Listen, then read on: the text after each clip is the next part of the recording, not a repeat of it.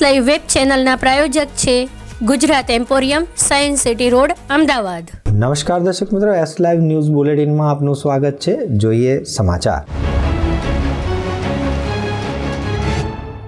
Gujarat Chamber of Commerce and Industries દ્વારા textile leadership conclave બે હજાર બાવીસ યોજાયો.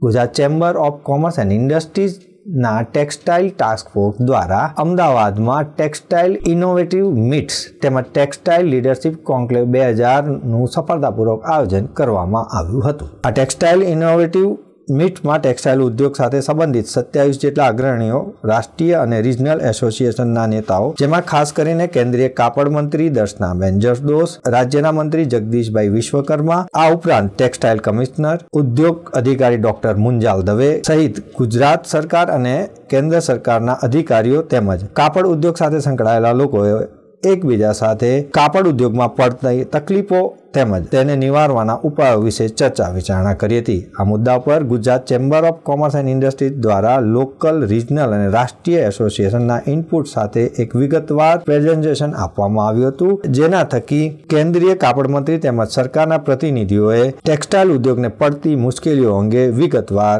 માહિતી મેળવી હતી અને ત્યારબાદ ટેક્સટાઇલ મંત્રી દર્શના જરદોસે ટેક્સટાઇલ ઉદ્યોગને પડતી મુશ્કેલીઓ વિશે ખૂબ જ સૌહાર્દપૂર્ણ, પડતી મુશ્કેલીઓને ઉકેલવા માટેના પ્રયાસો કરવામાં આવશે તેમ પણ જણાવ્યું હતું. આખા દેશમાંથી લગભગ અગિયાર સંગઠનો અને રાજ્યમાંથી લગભગ બાર સંગઠનો જે વિવિધ ક્ષેત્રની અંદર વેલ્યુ ચેનની અંદર ટેક્સટાઇલ મિનિસ્ટ્રી સાથે જોડાયેલા છે.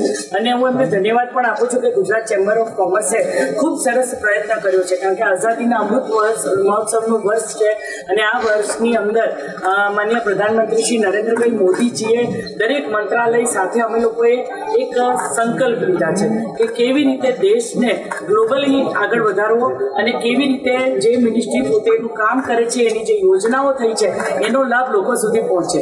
અને એની ચર્ચા વિચારણા કરવા માટે જુદા જુદા સ્ટેક હોલ્ડરો સાથે જે ડબલ એન્જિન સરકારની વાત ચાલે છે, એમાં રાજ્ય સરકારના મંત્રી શ્રી જગદીશભાઈને પણ આપણે હાજર રાખ્યા.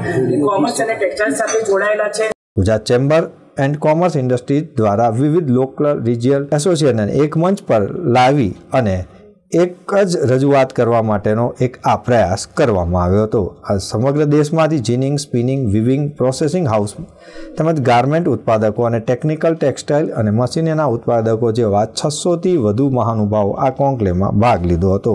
આ પ્રસંગે જીસીસીઆઈના પ્રમુખ હેમંત શાહે જણાવ્યું કે સરકાર દ્વારા અનેક મુક્ત વેપાર કરારો અને નવી પીએલઆઈ યોજનાઓ સાથે ભારતના કાપડ ક્ષેત્રને ઘણા ફાયદા થવાની તકો છે. આ ઇન્ટરેક્ટેડ મીટ અને લીડરશિપ કોન્ક્લેવનું આયોજન ખાસ કરીને એટલા માટે જ કરવામાં આવ્યું છે અને જેના માટે હું આનંદની લાગણી અનુભવું છું.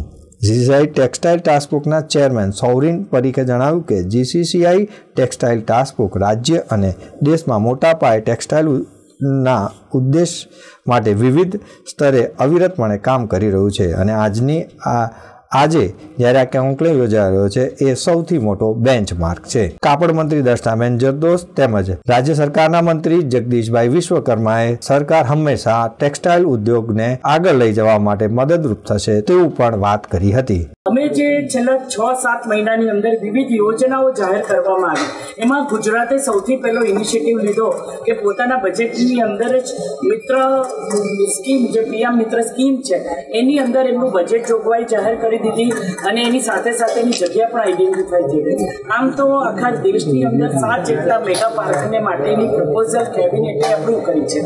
અને અમે વિવિધ રાજ્યોની પાસેથી એની એપ્લિકેશન મંગાવી છે. એમાંથી તેર રાજ્યોમાંથી સાત રાજ્યોને મંજૂરી મળશે. તો મિત્રો, આ હતા અત્યાર સુધીના સમાચાર. સમાચારની ખાસ ગતિવિધિ માટે આપની હાલતા રહો એસ લાઈવ ન્યૂઝ બુલેટિન નમસ્કાર.